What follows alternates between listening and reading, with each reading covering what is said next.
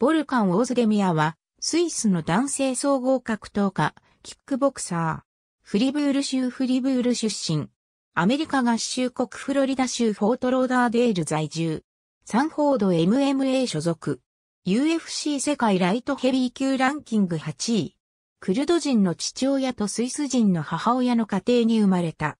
オランダのゴールデングローリーでアリスター・オーフレームと親しくなったことで誘いを受け本格的に格闘技のトレーニングを始めた。キックボクシングとブラジリアン柔術のトレーニングを積み、2010年に総合格闘技デビュー。2013年10月25日、ベラトル MMA 初参戦となったベラトル105でジョシュラニアーと対戦し、TKO 勝ち。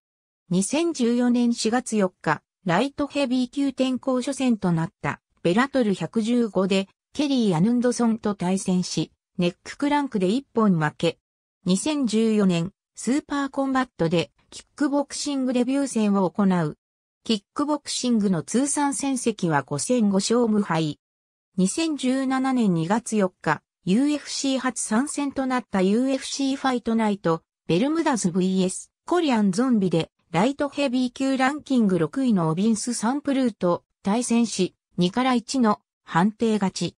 2017年5月28日、UFC ファイトナイト、グスターフソン VS ケラで、ライトヘビー級ランキング7位のミシャ・サークノフと対戦し、開始28秒にカウンターの右フックで小勝ち。2017年7月29日、UFC214 で、ライトヘビー級ランキング3位のジミ・マヌワと対戦し、開始42秒にパウンドで小勝ち。パフォーマンスオブザナイトを受賞した。2018年1月20日、UFC220 の UFC 世界ライトヘビー級タイトルマッチで王者ダニエル・コーミエに挑戦し、パウンドで西子負け、王座獲得に失敗した。2018年10月27日、UFC ファイトナイト、ボールカン VS スミスでライトヘビー級ランキング10位のアンソニー・スミスと対戦し、リアネイキッドチョークで一本負け。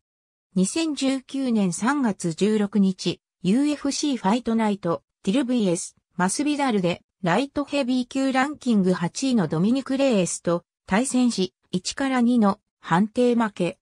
2019年8月10日、UFC ファイトナイト、シェフチェンコ VS、カームーシュ2で、ライトヘビー級ランキング9位のイリル・ラティフィと対戦し、左フックで小勝ち。パフォーマンスオブザナイトを受賞した。